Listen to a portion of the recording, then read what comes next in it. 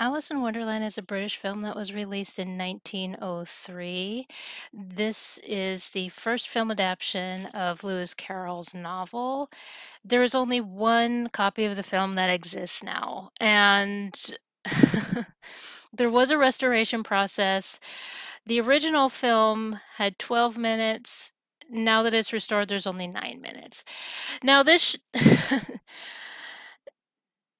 this isn't to be confused with the American version that was released in 1915. Um, yeah, the 1915 has the uh, the scary Humpty Dumpty in it and everything. yeah. Don't confuse it with that. yeah, we do things differently here in America. But um now this film was actually um, praised for its special effects and for good reason.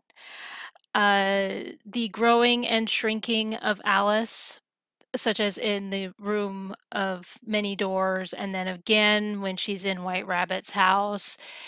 And, um, you know, even today, I mean, that was 1903, and then you uh, look at it again it it still holds up. I mean, for what they had, it's it's well done.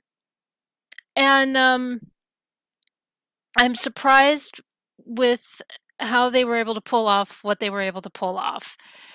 And with with what they had for some of these, you know, especially with a fantasy story such as Alice in Wonderland.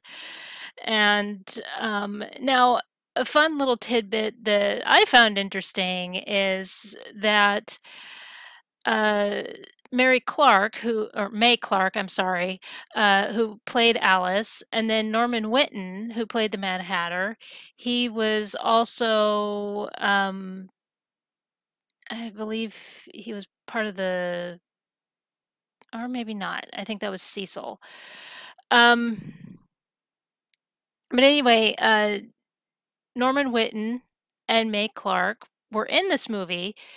Uh, Norman played Mad Hatter, May played Alice. Uh, they got married. And then they continued on as pioneers in British cinema.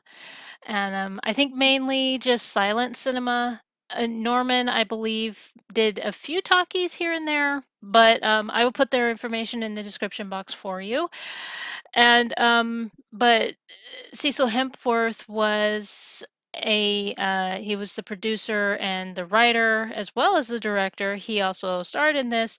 He and his wife. Yeah, he didn't star in it. I'm sorry. He he played Frog.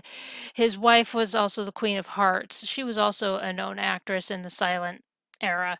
Um, Margaret Hepworth was her name.